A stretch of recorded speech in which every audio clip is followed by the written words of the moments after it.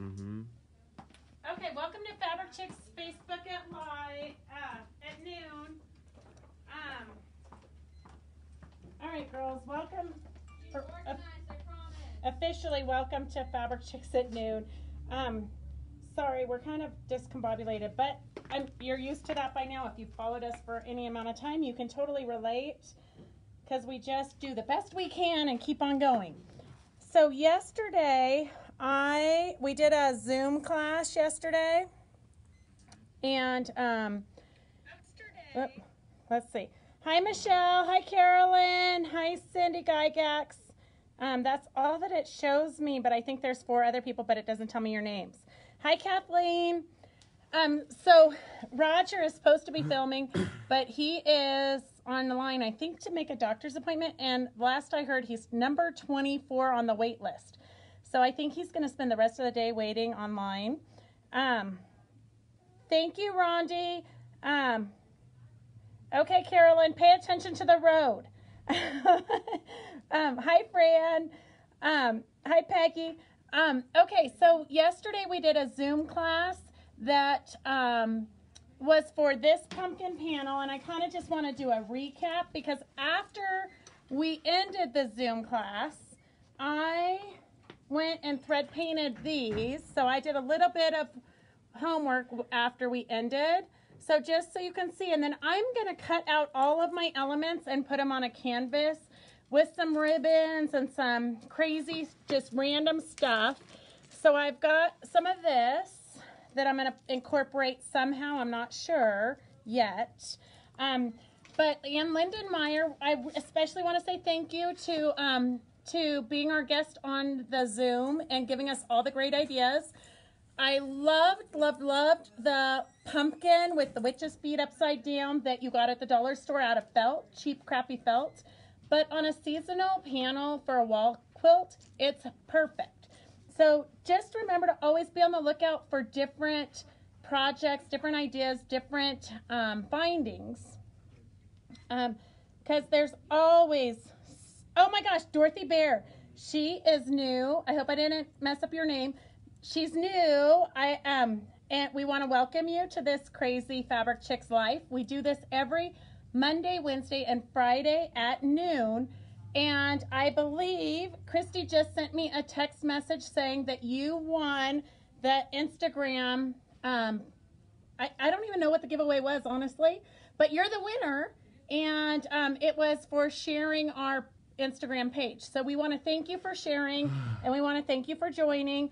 And if you can just contact Christy with your information, we'll get whatever the price is to you. And maybe I'll post later what it is, or Christy will post what it is.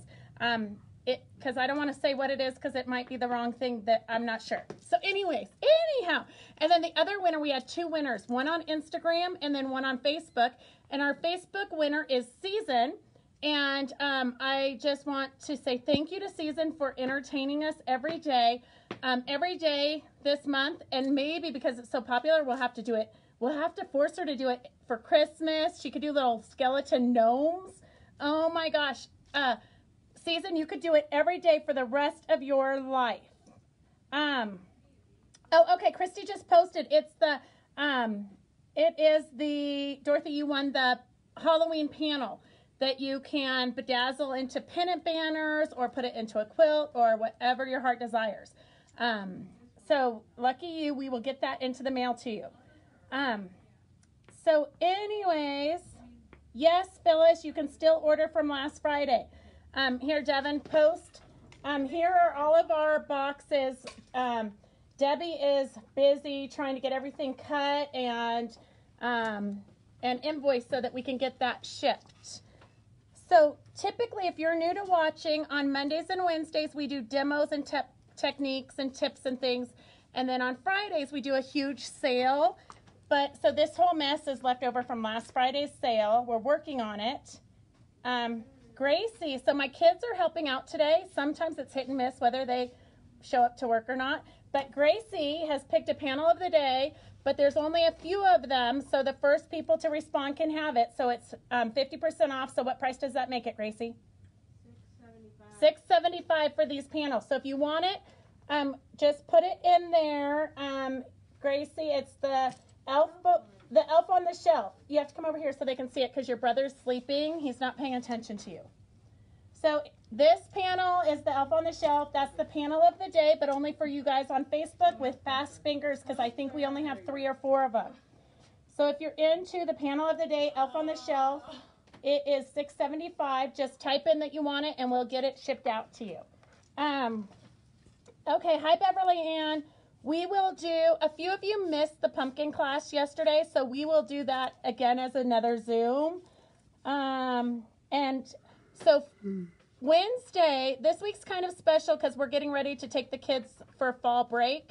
Um, so Gracie says she's being they're being held hostage. They do not want to go to Santa Cruz and spend a week on the beach. Spend no. Halloween at no, the boardwalk. How no. fun is that? No, we don't. Um, so anyways, um, thank you, Rondi. She's pretty cute when she wants to be. Um, Beverly Ann will get you a pumpkin panel. Can you write that down, Debbie? Yeah. Beverly, Ann wants a, wants a yeah. Panel. And then um, Carolyn Gavinich wants the elf on the shelf. Okay. Hi, Carolyn. Carolyn, Gracie says hi, and, and thank you for stopping before you're typing. I don't want to cause any accidents. Um, but, um, okay, so we have two, well, we have three special guests this week. Wednesday, we have um, Double Trouble. Peggy and Penny are coming from um, Modesto, Ripon area, um, Central California, I guess, centrally North California, I guess. Um, they're going to come and do demos and um, mini lessons for us on Wednesday at noon at live. Um, so Peggy's going to be um, giving us tips and tricks on hand um, handwork, and Penny is going to be showing us how to do a two-hour panel quilt. So I'm excited for both of those. They're both a hoot. It's going to be fun. So tune in Wednesday at noon. And then on Friday, we have um, one of my reps, my rep for EE Schenck, Trish Lyles, coming. I hope I said her name right. Um, Trish Lyles coming to do demos on the sashers and um, the sashers. You can do multiple things with it. You can do bias bindings. You can do bindings. You can do. Um, she's going to be demoing how to do a rug, so it might be a good way to use up our scraps. I'm not sure. Um, because I haven't actually seen it. She just told me about it and it sounded wonderful. So that's what we're doing on Win on Friday. And then we're all she's also going to be demoing a coloring technique. And if you belong to Fabric Chick Stitch Along, you saw it. Debbie Clarkson has posted several times her um, Salem Witches um, by Crabapple Hill. So Trish is going to be demoing that, and she'll have the products here for you guys to purchase because I know if there's nothing more frustrating than seeing something demoed and not being able to get the product. So, um, so that's that. Um, okay, and um, hi Sue, hi Myra. Okay, so I'm going to do a demo today, just kind of a recap on what we did in the pumpkin class so here are a few of the leaves that I did. Are you looking? You want me to show them? 75 times. If you could just keep focused and show them what we're doing. Um, so here I did, um, you can see it's kind of crinkly in the basket because I did Fabric Magic behind. So I did Fabric Magic behind. I didn't have it pinned very good, so it, it fell under. Um, but I don't really like the color that I chose.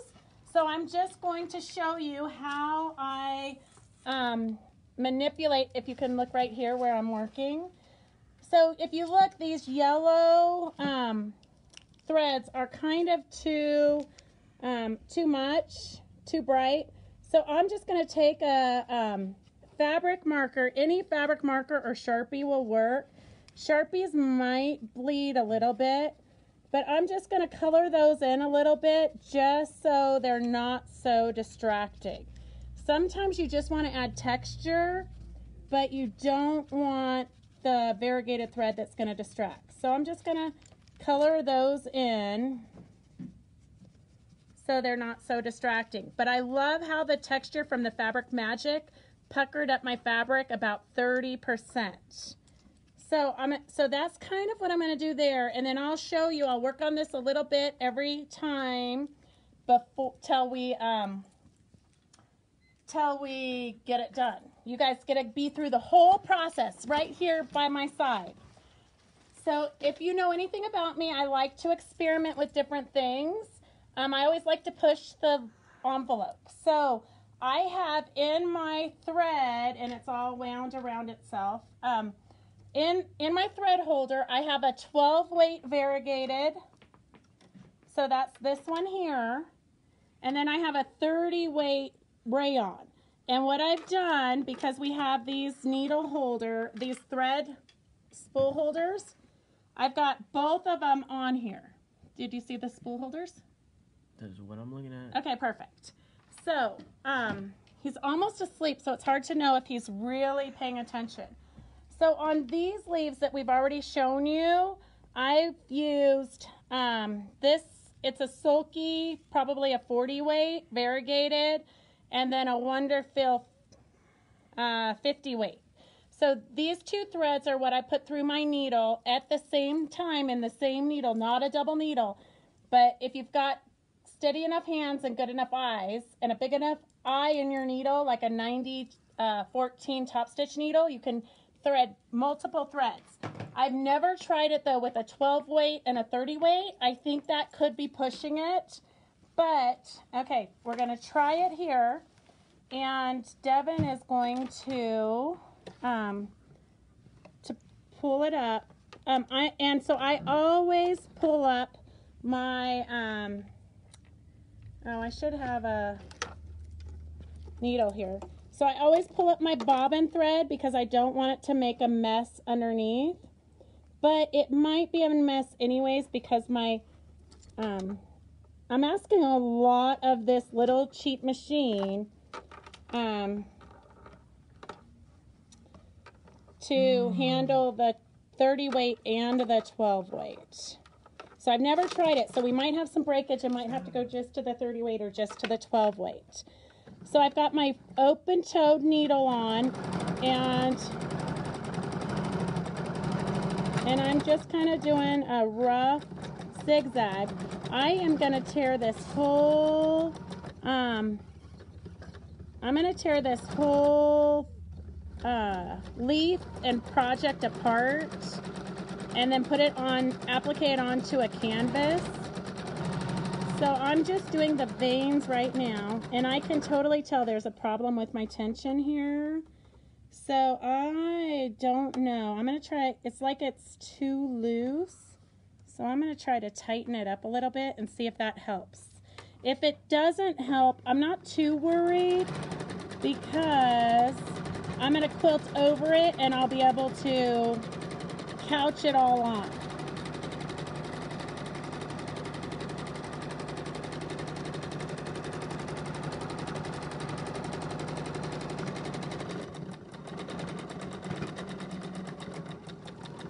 And then I'm just going to kind of do a rough zigzaggy kind of a little, I'm not too worried about the berries because I'm going to cut those out. So typically I would do a lot of this free motion quilting on my long arm as I quilt it. But I'm trying to do it with the domestic machine because I know that's what most of you have at home.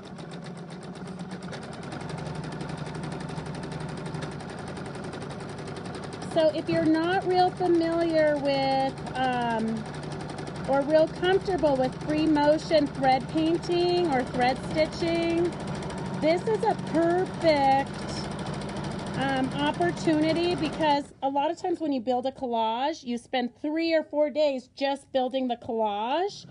And then you don't want to mess it up with your thread painting if you're not that com confident. So so a panel is perfect. What do you have to lose? I mean, a panel is very inexpensive compared to your time building a collage.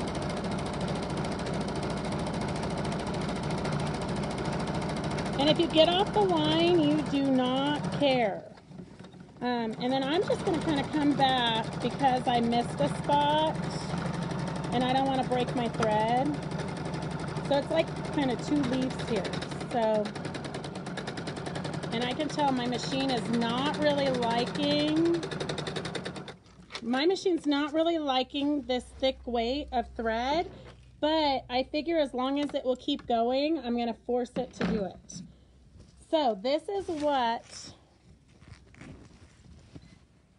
can you see that? That's what the, it looks like thread painted. So there are a little few loops here, but I don't really care. I'll kind of couch those down when I quilt it. Okay, so let's see. Um, okay, all right, Kathleen, I'm so excited. Kathleen is coming up to the shop today. So we'll see you in a bit. Um, Sue, thank you for sharing.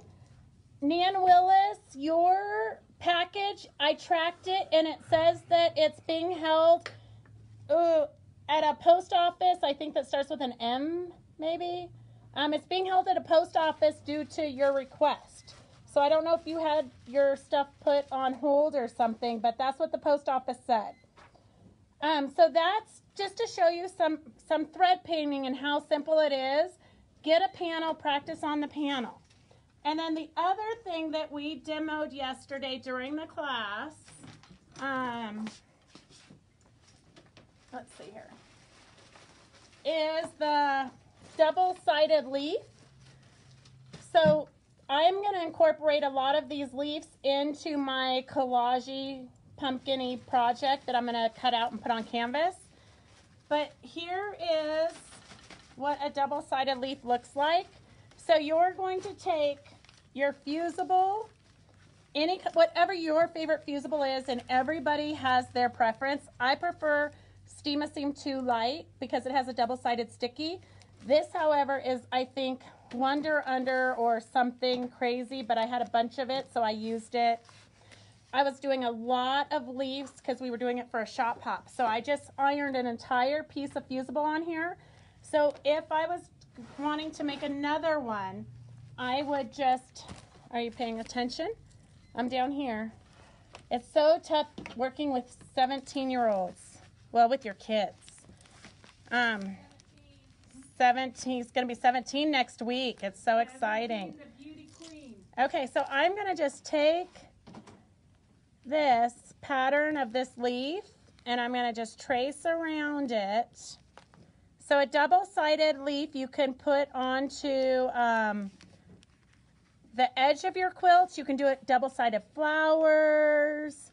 You could just make a bunch of these and just throw them on your table with the pumpkins we showed you last week.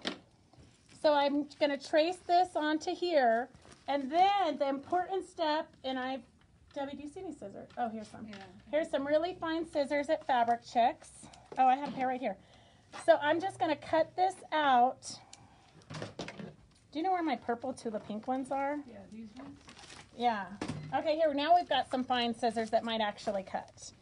Um, so I'm just going to cut this leaf, and it's ironed onto the wrong side. If you're new, you can always ask questions, and we'll try to answer them. Um, so I'm going to cut this out. And you can get lots of fun leaf shapes, like say you need a pumpkin leaf. You can get lots of fun leaf shapes off of go to coloringpages.com or just Google coloring pages. Sometimes it's better if you do coloring pages for adults because you'll get not such kid, more realistic um, outlines because all you need is the outline of the leaves. Okay, so here's my leaf and then I'm going to iron this. So here you can see it's the same here, but it's just ironed onto the wrong side of the fabric. And then I'm going to iron it onto, I had a rainbow piece of fabric yesterday. Let's see. Let's see in my bag of goodies I can't throw away.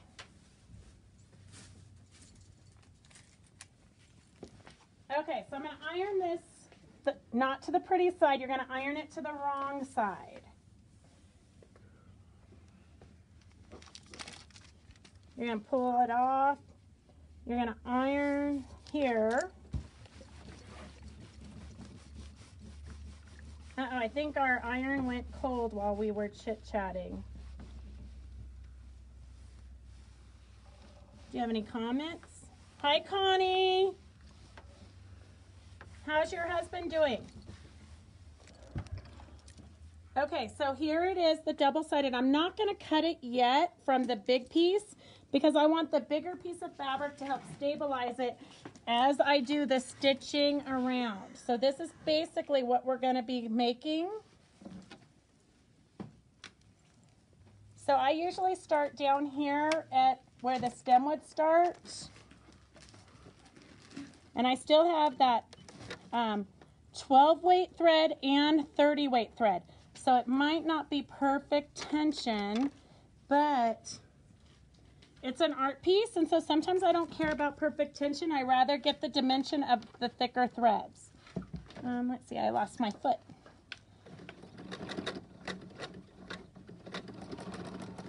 So I'm just stitching around the outside edge. And I do not put my feet dogs down. So some of you, um, your machines, the newer machines, you're forced to put the feed dogs down. If you, um, oops, I just missed a little bit there, so I'm going to go back. I think my face shield is foggy. Oh my gosh, Devin, were you up late last night? You can't stay awake to Mhm. hold that? Yeah. Oh dear.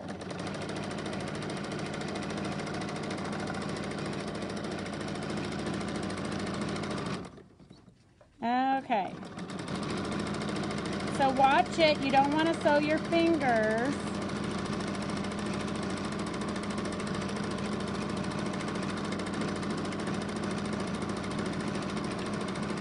So then when I get down here to the um, to where I started, I'm going to come up and kind of just do some veins. Remember, nothing in nature is straight.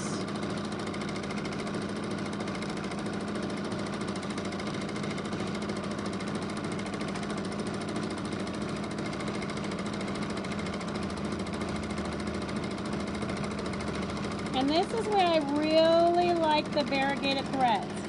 If it really was bugging you, you could draw in some veins instead of just freehanding them. But remember, it's just it's just nature. Nobody's going to be counting how many lines your vein has.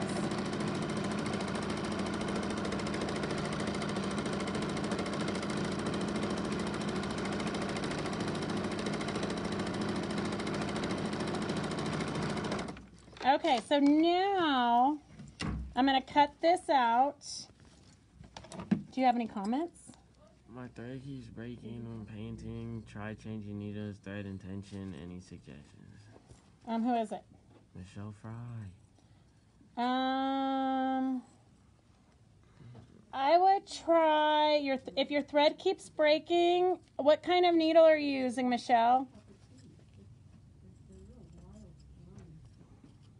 Sometimes my thread breaks because I'm pulling on it too and I'm going too fast. So if you're going too fast, you might want to slow down.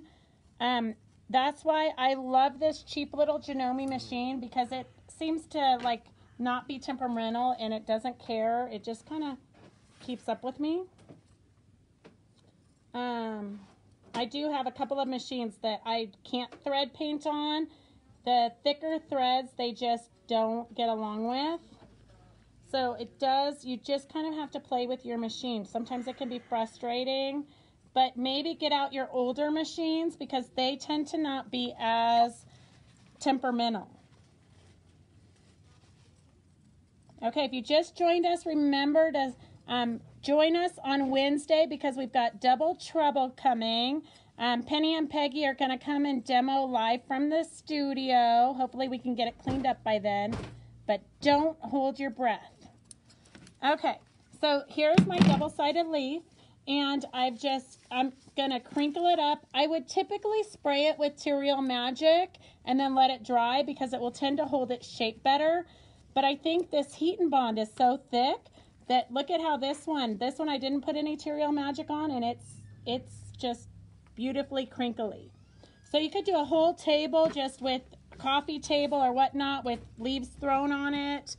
Um, it's super cute if you've made the pumpkins that Leilani showed us how to make. You could make a little display like that. And then this is, I'm just going to talk about it. I'm not going to demo it today because I demoed it last week.